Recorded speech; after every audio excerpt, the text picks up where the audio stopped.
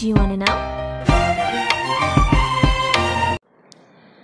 hello dear students today we will be discussing very very important topic that is lc oscillations so many times this question is asked like question is what are lc oscillations and uh, explain qualitatively how these oscillations are produced ठीक है and why how do oh yeah why do these oscillations get damped so इसको हम discuss करेंगे अभी इसका qualitative सिर्फ़ explanation होगा ठीक है आपके सिलेबस में भी वही है ठीक है मैथेमेटिकल एनालिटिकल मैथेमेटिकल एनालिटिक्स नहीं है इसका।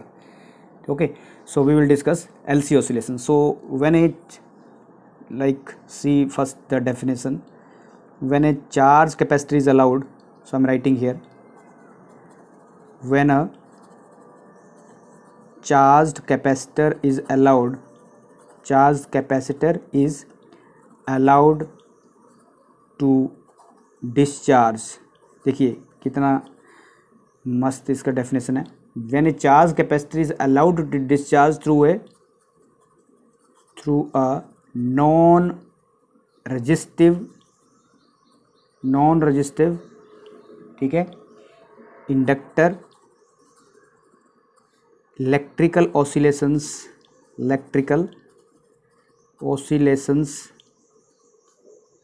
of constant amplitude of constant amplitude and frequency are produced and frequency are produced this type of yeah these oscillations these oscillations are called LC oscillations अब देखिए अब मैं डायग्राम बना रहा हूँ यहाँ पे I will make here eight diagrams and through eight diagrams, we will discuss its qualitative explanation so, students, देखिए अब, सबसे पहले, अभी जो मैंने पिछले जो वीडियो में आपको बताया था कि energy stored in inductor and capacitor तो वो यहाँ पे यूज़ होगा, उसका सिर्फ़ फॉर्मूला यूज़ होगा, इसलिए मैंने वो उसका डेरिवेशन फाइंड आउट किया था, क्योंकि वो सीबीएसई में कई बार क्वेश्चन पूछा गया है। और एल सी ऑसिलेशन में सिर्फ़ आपको डायरेक्ट फॉर्मूला लिखना है, ठीक है? तो मैं पहले डायग्राम बना रहा हूँ। We have to make eight diagrams and through eight diagrams we will come to know about its result okay so देखिए अब मैं एक यहाँ पे डायग्राम बना रहा हूँ। First diagram is like this this is a inductor ये देखिए, ये इंडक्टर है, ठीक है? और इसको मैंने कैपेसिटर से कनेक्ट कर दिए, देखिए यहाँ पे, ठीक है? तो जब, अब देखिए, जब यहाँ पे कैपेसिटर को इंडक्टर से कनेक्ट किया तो होगा क्या? स्टार्टिंग में जो चार्ज है कैपेसिटर के बाद, वो क्यू नोट है, और उसको इंडक्टर से हमने कनेक्ट कर दिया। इसके पास क्यू नोट चार्ज है स्टार्टिंग में, ठीक है? और इसने इंडक्टर के साथ इसको कनेक्ट कर दिया, और इसका मतलब एनर्जी, इलेक्ट्रिक एनर्जी जो स्टोर्ड है इसमें कैपेसिटर में that is equal to half Q naught C, half Q naught square C, ये एनर्जी इसके पास स्टोर्ड है। और जैसे ही, अब, अभी कोई करंट फ्लो नहीं कर रहा है, ठीक है, इसका मतलब मैग्नेटिक एनर्जी जो इसमें है वो ज़ीरो है अभी। लेकिन जैसे ही सर्किट क्लोज करेंगे, सर्किट क्लोज करते ही क्या होगा? दूसरे वाले डायग्राम देखिए, पहले तो हमने बोला कि इसमें कोई करंट फ्लो नहीं करे इसका मतलब ये ज़ीरो है। इंडक्टर में एनर्जी ज़ीरो है। ठीक है? इसका मतलब मैं अगर इसको मैं थोड़ा सा डायग्राम के थ्रू आपको बताऊँ यहाँ पे, ये देखिए आप, इसके पास जो इलेक्ट्रिक एनर्जी है वो, इसमें कैपेसिटर में, ये मैक्सिमम है, ये वाला साइन देखिए आप मैक्सिमम एनर्जी है, लेकिन यहाँ पे कोई साइन नहीं है तो इसका मतलब इसको मैंने नीचे रखा है ऐसे करके, ये फ़र्स्ट डायग्राम ठीक है? और सेकंड डायग्राम में देखिए क्या हुआ, जैसे ही की को क्लोज किया तो हुआ क्या? This is very very interesting आप दोबारा से डायग्राम देखिए, और इसको फिर, ये देखिए, ये मैंने कैपेसिटर बना दिया। जैसे ही करंट इसमें, जैसे सर्किट को क्लोज किया, इसमें करंट फ्लो होना स्टार्ट हो गया इस कैपेसिटर के थ्रू। पहले ये था, अब इस कैपेसिटर के थ्रू करंट और ये मैग्नेट बन गया। इंडक्टर क्या बन गया? मैग्नेट बन गया। तो मैग्नेटिक फ़ील्ड लाइंस फ्लो करने लगी। ठीक है? राइट हैंड थम रूल लगा के आप देख सकते हैं कि यहाँ पे मैग्नेट बन गया ये। जब ये मैग्नेट बन गया तो मैग्नेटिक फ़ील्ड लाइंस इस तरीके से मूव करने लगी। ये नॉर्थ बन ये साउथ बन गया। नॉर्थ से साउथ की तरफ़ लाइंस मूव करने लगी। ठीक है? तो करंट इस डायरेक्शन में ऐसे करके करंट जा रहा है नॉर्थ से साउथ की तरफ़ यू कैन सी तो क्या हुआ कि इसमें भी कुछ एनर्जी आ गई और बराबर एनर्जी इसमें शेयर्ड हो गई। ये देखिए, इसमें भी एनर्जी आ गई मैग्नेटिक एनर्जी आ गई और इसमें तो ऑलरेडी इलेक्ट्रिक एनर्जी ठीक है? कैपेसिटर में थी तो ये बराबर एनर्जी आ गई इसमें। इसकी एनर्जी उसमें चली गई अभी। तो ये पॉजिटिव था इसका दिस वॉज़ नेगेटिव अब देखो क्या हुआ। जैसे ही हमने इसको मीन्स की को क्लोज किया कैपेसिटर जो है वो डिस्चार्ज होना स्टार्ट हो गया। ठीक है? किसके थ्रू इंडक्टर के थ्रू उसकी वजह से करंट हो गया। जैसे जैसे करंट इंक्रीज करने लगा, इसमें magnetic field around the inductor increase करने लगी। और क्या हुआ कि इसकी जो इलेक्ट्रिक एनर्जी की कुछ एनर्जी है वो इंडक्टर में स्टोर्ड होगी और किस फॉर्म में स्टोर्ड होगी that is equal to half यहाँ लिख देते हैं। That is equal to half L I square जो पिछले वाले वीडियो में मैंने बताया था कि कितनी energy so half L I square इस फॉर्म एनर्जी इसमें स्टोर हो गई ठीक है? और उसके बाद क्या हो कि कैपेसिटर पूरी तरह से डिस्चार्ज हो गया इसके थ्रू यहाँ से डिस्चार्ज हो गया अक्रोर ठीक है? और इसका जो पोटेंशियल है वो ज़ीरो हो गया। इसका पोटेंशियल ज़ीरो हो गया तो करंट ने मैक्सिमम वैल्यू अपनी मैक्सिमम मीन्स अपनी जो इसकी जो uh, जो करंट है it reach to maximum value that is I naught maximum value में ये पहुँच गया। जिसको हम यहाँ से इस डायग्राम के थ्रू इसको एक्सप्लेन कर देते हैं। यहाँ पे एक और डायग्राम बना देता हूँ मैं। देखिए, ये कैपेसिटर है, ये आपके पास इंडक्टर और ये इसको कनेक्ट कर दिया। तो ये हमने बताया था कि ये क्या बन गया था? ये मैग्नेट बन गया था। जब ये मैग्नेट बन गया था तो करंट यहाँ से फ्लो कर रहा था। ठीक है? तो इसने पूरी एनर्जी इसकी डिस्चार्ज होगी तो इसके पास पूरी एनर्जी आ गई है जब इसके पास सारी की सारी एनर्जी स्टोर्ड होगी तो इसके पास कुछ नहीं बचा। इसका मतलब क्या हुआ? इसके पास कुछ नहीं बचा। मैक्सिमम करंट इसमें चला गया, ठीक है?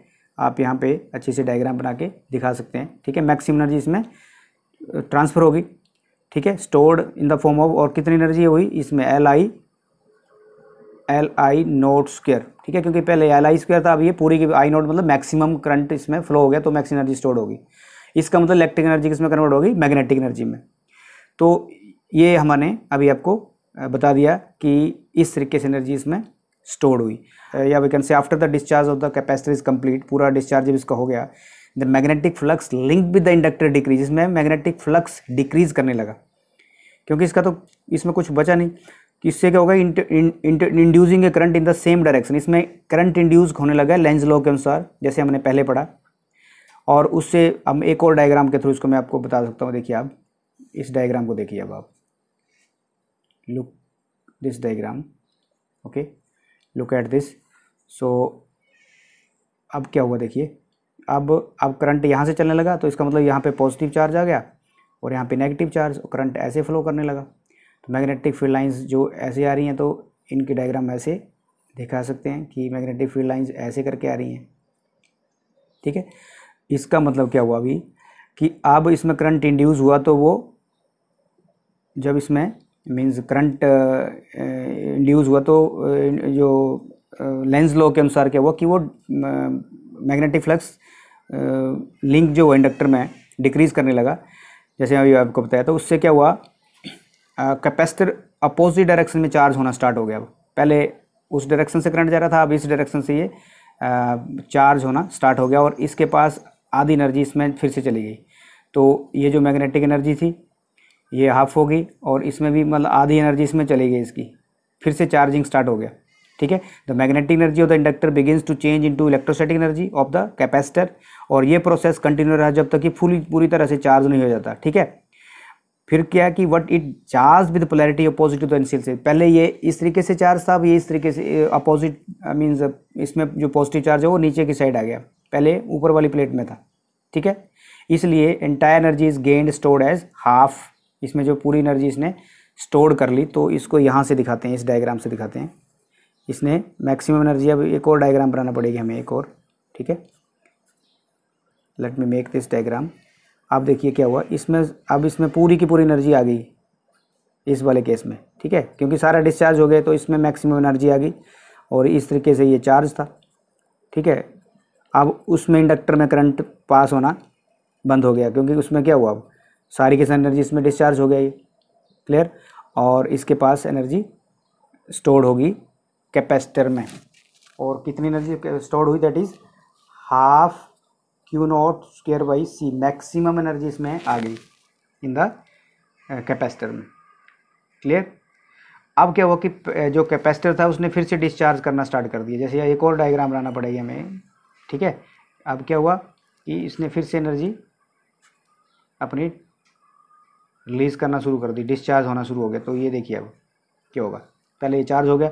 अब क्या हुआ पॉजिटिव चार्ज इस तरफ़ था तो करंट इस तरफ़ से फ्लो करेगा, देखिए। क्योंकि current flow from positive to negative and तो ये मैग्नेट बन गया, अब ये वाला एंड नॉर्थ हो गया, वो साउथ हो गया। तो magnetic field lines move from north to south और इसका ध्यान रखें, कोई भी लाइंस आपस में इंटरेक्ट नहीं करनी चाहिए, ठीक है? वो आपने पहले चैप्टर मैग्नेटिक फ़ील्ड वाले चैप्टर में पढ़ा हुआ है। तो अब देखिए, आधी एनर्जी इसकी इसमें भी आ गई दोबारा से। ये प्रोसेस फिर से रिपीट हो गया। क्लियर अब करंट इस डायरेक्शन में जाने लगा मीन्स ऐसे ऐसे करंट जाने लगा इस इस डायरेक्शन में। और ये पॉजिटिव है, ये प्लेट नेगेटिव है, ठीक है? कैपेसिटर में। अब क्या हुआ कि जैसे ही कैपेसिटर बिगिन ये डिस्चार्ज स्टार्ट हुआ करंट अपोजिट डायरेक्शन में इसने भेजना स्टार्ट किया, और फिर से क्या हुआ एनर्जी द्वारा से ट्रांसफ़र की इंडक्टर को, और इंडक्टर में मैग्नेटिक फ़ील्ड डेवलप हो गई, और ये प्रोसेस रिपीट होता रहा ठीक है? वी कैन से कि thus the process repeats in the opposite directions ठीक है? अपोजिट डायरेक्शंस और फिर से जो ये वाला जो दोबारा से अपनी इनिशियल स्टेज में आ जाएगा ये वाला केस इसके पास फिर से एनर्जी आ गई तो एक बार एक बार डायग्राम फिर से बना लेते हैं यहाँ पे. इसके पास फिर से एनर्जी स्टोर होगी सारी की सारी, जो कैपेसिटर ने इसको सारी की सारी एनर्जी दे दी. ये नॉर्थ बना, ये साउथ बना, देखिए आप ऐसे करके. ठीक है? तो एनर्जी इसमें फिर से स्टोर होगी in the form of L half L I naught square क्योंकि मैक्सिमम करंट मतलब आई नोट मतलब मैक्सिमम ये देख सकते हैं आप, यहाँ पे इसमें मैक्सिमम एनर्जी स्टोर होगी। अब करंट इस डायरेक्शन में जा रहा था तो इसके पास अब सारी की सारी एनर्जी आ गई, देखिए पहले आधी, फिर फुल एनर्जी इसमें आ गई। इसमें कुछ नहीं बचा। यू ई में कुछ नहीं बचा, ठीक है? इसमें ज़ीरो कुछ नहीं बचा इसमें।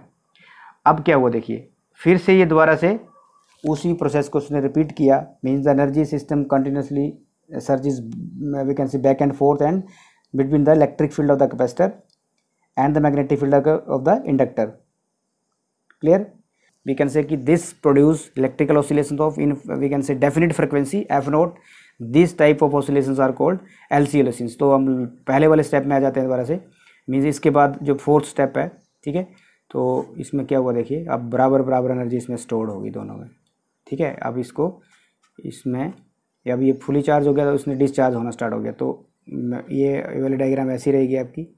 देखिए आप। एरोज का ध्यान रखना ऐसे करके, ठीक है? तो अब इसके पास कुछ करंट फ्लो करने लगा। आई नोट जहाँ लिखा हुआ मतलब मैक्सिमम करंट जा रहा है, ठीक है? ये सब इंडक्टर एल लिख सकते हैं आप यहाँ पे, ये कैपेसिटर है आपके पास। अब इस तरीके से चार्ज हो गया ये ऊपर से, जैसे पहले वाली स्टेज में आ गया, देखिए। अब आपके पास क्या हुआ कि आधी एनर्जी इसमें स्टोर होगी। आधी एनर्जी इसमें स्टोर होगी। मीन्स ये मैग्नेटिक एनर्जी थी और ये इलेक्ट्रिक एनर्जी थी। तो आप देख सकते हैं कि किस तरीके से इसमें ऑसिलेशन स्टार्ट हुई। इसका मतलब ये नहीं है कि एनर्जी वेस्ट नहीं हुई। एनर्जी हर चीज़ का रेजिस्टेंस होता है, इसलिए इसमें भी एनर्जी वेस्ट होती है। देखिए, अब हमने ये अभी डिस्कस किया। अब आप इससे ये सीख सकते हैं कि अगर एल सी ऑसिलेशन होती रही तो एनर्जी तो लॉस हुआ नहीं। और ऐसा तो होगा नहीं कि कोई ऐसा इंस्ट्रूमेंट हो आपके पास कि उसकी एनर्जी बिल्कुल भी लॉस नहीं होता है, उस एनर्जी का बिल्कुल लॉस ना होता हो क्लियर अगर if there is no loss of energy the amplitude of the oscillation will remain undamped या amplitude of the oscillation will remain constant तो ऐसा इसमें होगा नहीं कि देखिए आप मान लो कि ये ऑसिलेशंस मैं इस तरीके से डायग्राम बनाता हूँ। देखिए आप मान लो ये आपके पास एम्पलीट्यूड एम्पलीट्यूड लिख देता हूँ यहाँ पे। एम्पलीट्यूड और ये टाइम ले लेते हैं हम। टाइम के साथ amplitude increase decrease increase decrease increase decrease ऐसे ऐसे करके ये इंक्रीज डिक्रीज कर रहा है। ठीक है? इसको अच्छे से आप यू शेप में डायग्राम बनाना है यहाँ पे। ठीक है? इसका मतलब ये अनडैम्प्ड ऑसिलेशंस हैं। These are undamped oscillations undamped oscillations इस तरह की ऑसिलेशन को हम अनडैम्प्ड ऑसिलेशन बोलते हैं। ठीक है? लेकिन इसकी जो एल सी ऑसिलेशन है, वो डैम्पिंग होता है उसमें, क्योंकि हर एक जो आपके पास इंडक्टर है, उसका कुछ ना कुछ रेजिस्टेंस होगा। Every inductor has some resistance हम लिख देते हैं यहाँ पे line every inductor has some resistance हर चीज़ का रेजिस्टेंस होता है तो यहाँ भी हम लिखेंगे कि रजिस्ट जो इंडक्टर है, उसका रेजिस्टेंस है, और उसकी वजह से हीट लॉस होगा। This cause this causes energy loss this causes energy loss किसमें होगा? इन द फॉर्म ऑफ़ या we can say as heat energy loss होगी हीट में। उसकी वजह से जो उसका एम्पलीट्यूड है वो डिक्रीज करेगा। जैसे ये एम्पलीट्यूड कांस्टेंट था, ये ऐसा नहीं है। वो डिक्रीज कर जाएगा। और डिक्रीज कर जाएगा। अगर मान लो suppose even if the resistance were zero suppose करिए suppose even if the resistance is zero अगर मान लो रेजिस्टेंस ज़ीरो है, मान लेते हैं कि नहीं, ऐसा ऑब्जेक्ट है हमारे पास, उसका रेजिस्टेंस ज़ीरो है। तो total energy of the system would not remain constant तो जो total energy of the system की है that will not remain constant तो बहुत इंपॉर्टेंट पॉइंट है, ये लिख देता हूँ मैं, ताकि आपके काम आएगा। Total energy total energy of the system would not be zero बहुत ही। इंपॉर्टेंट पॉइंट है वुड नॉट बी रिमेन या ज़ीरो या would not remain be constant not zero ठीक है? Suppose even if the resistance is zero the total resistance of the system would not remain constant would not remain constant क्यों नहीं होता ऐसा? क्योंकि it is radiated away radiated away in the form of in the form of electromagnetic waves. Electromagnetic waves. ठीक है, क्योंकि हर oscillating particle क्या प्रोड्यूस करता है?